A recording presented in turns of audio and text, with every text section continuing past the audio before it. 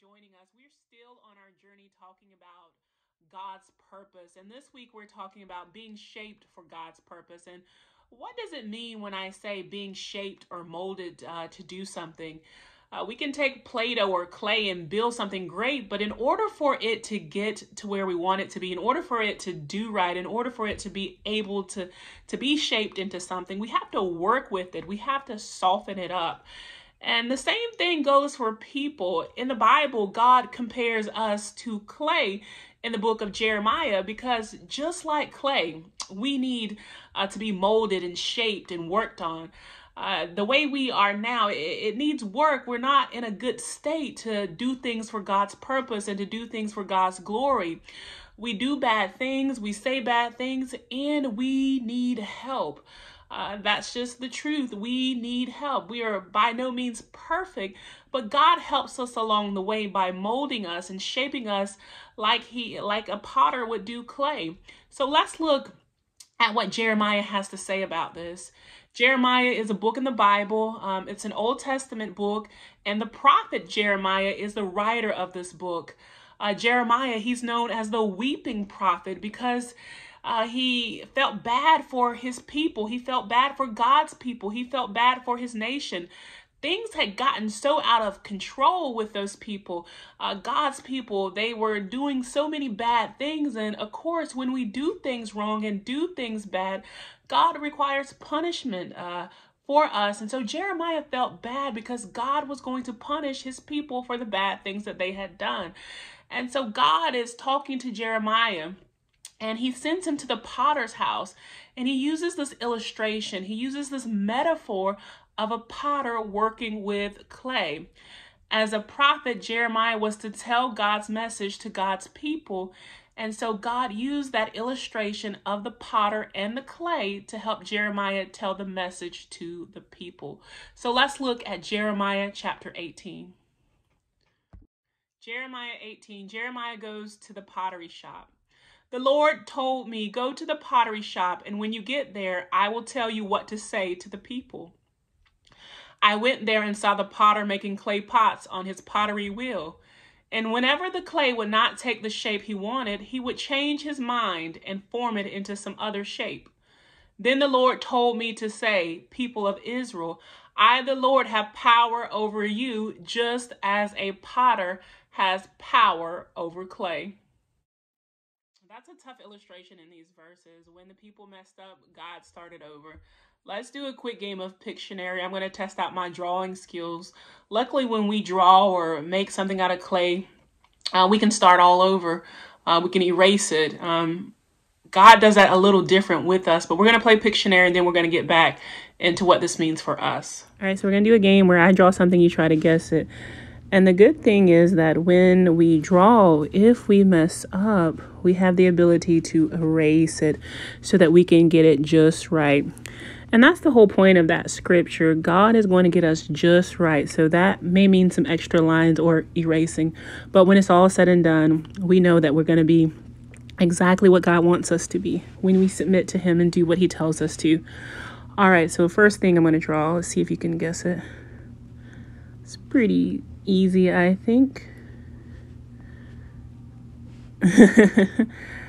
supposed to be a house. Did you guys get house? All right. So next thing I'm going to draw, let's see if you can guess it. This is going to be a hard one. Uh, oh gosh, that's horrible. It's hard when you draw on your phone. um, let's see. Can you guess what that is? That's a bad picture. So if you didn't get ice cream, I don't blame you. All right. Let's see if we can guess this one.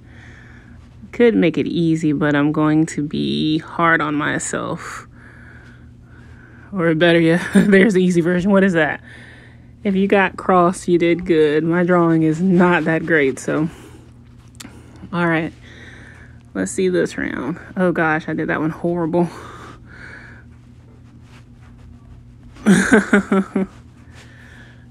did you get money? If you did, you did good. It's not easy drawing on your little phone.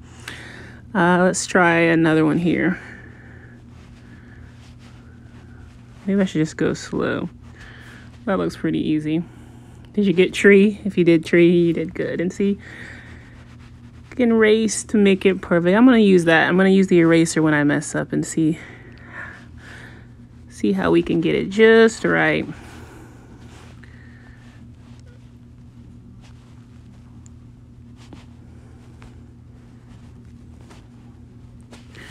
All right, did you get pizza? If you got pizza, you did good. And so the power of just being able to correct and fix something. And, that's what God's going to do. He's going to shape us to um, fit us so that we can be according, so that we can be what He desires us to be and fit for His purposes. That may require some more lines, uh, may require taking away some things, but God's going to get us right. So in real life, if we do a drawing that looks bad, we can erase it, we can start over and this is what God did with the nation of Israel a very, very long time ago. Uh, they messed up. They had gotten so far from God. They turned away from God. They were doing all these bad things.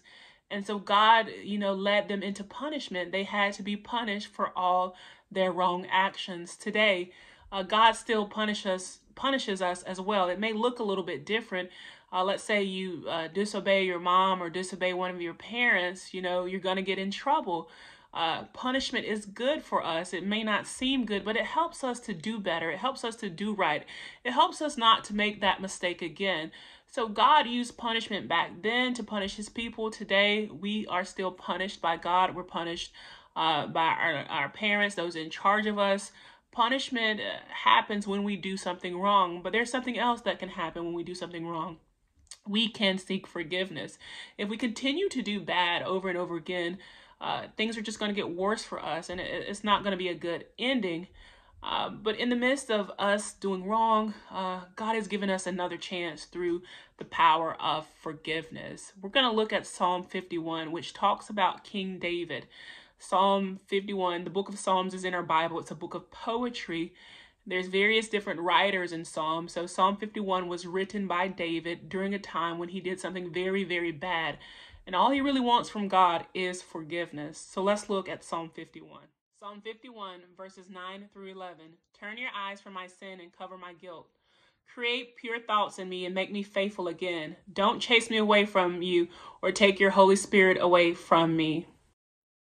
When we do bad things, uh, when we do wrong, we have the power of forgiveness. Many times uh, we feel bad or sad after doing something wrong, and that's God's Spirit telling us that we messed up, telling us that we got it wrong. But the beauty of everything is that no matter how much we mess up or how often we mess up or we get off track, God still allows us to be forgiven. All we have to do is come to Him honestly, to, to pray to Him, talk to Him, have a conversation, say, God, I messed up. God, I've done something wrong. God, I've done bad. Just like David did. All we have to do is tell God we messed up and ask Him to forgive us. So if you did something wrong, I just encourage you.